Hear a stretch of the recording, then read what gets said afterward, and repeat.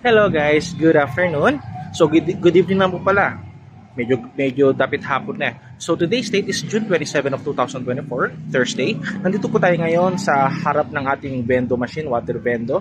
At i-vend at uh, i-video cam lang natin yung water vendo natin ngayon.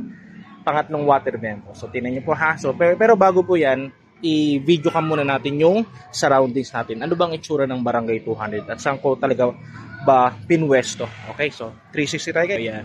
So po ilabasan.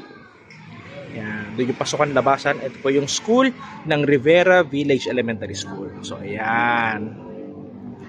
Okay.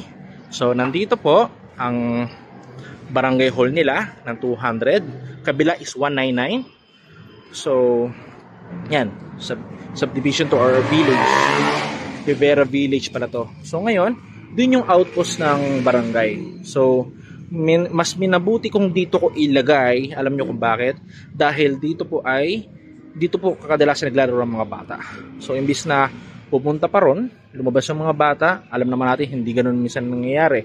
Mas, bumi, mas pinapanigan nila o mas bumibili sila sa mas malapit. Eh, magkabila ng tindahan dito. Meron dito, meron dito, mas meron pa dun, dun samot-sari talaga dito.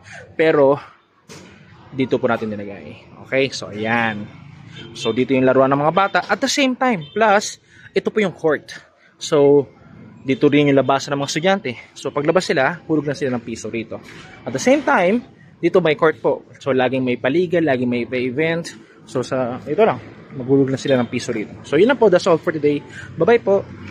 This is our third water bendo. Okay? Okay. So,